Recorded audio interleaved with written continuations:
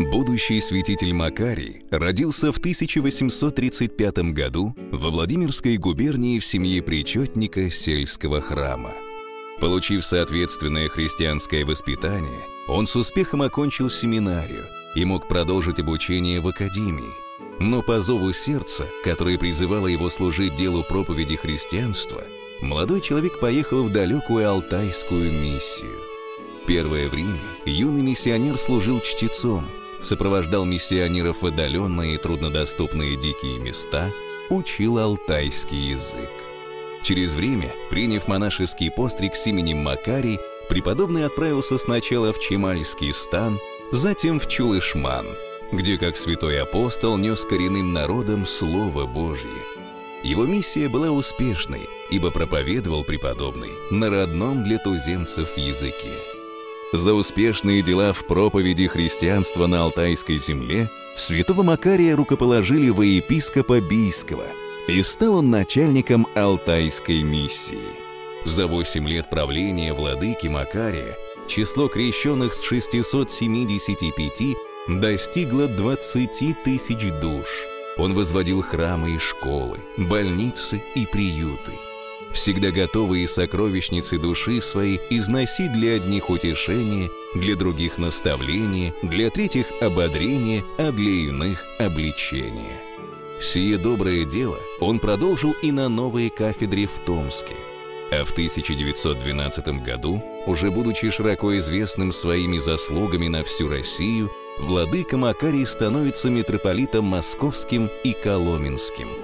Современники вспоминали о владыке – Гордой столице не понравилось его простое учительство.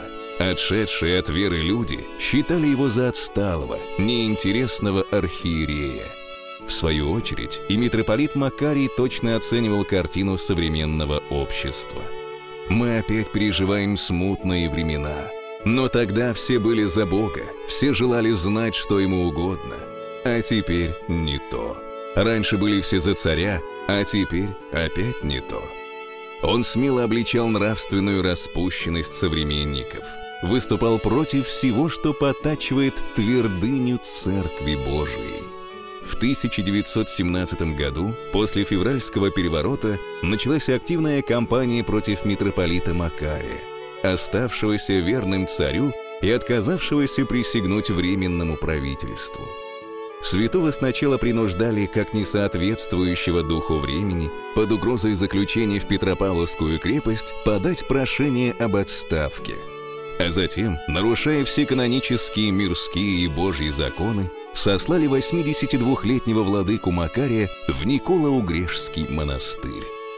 Последние годы жизни святой прожил почти покинутый всеми, разбитый параличом – но, слава богу, не лишившийся способности говорить. Не раз посещал больного владыку патриарх Тихон, и патриарший местоблюститель Петр приезжал к святому старцу за благословением.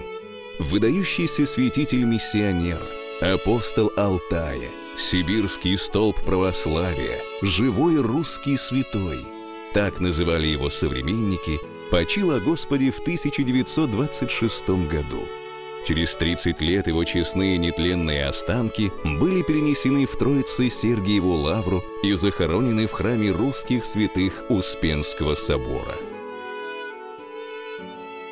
29 февраля – День памяти святителя Макария, митрополита Московского и Коломенского, апостола Алтая.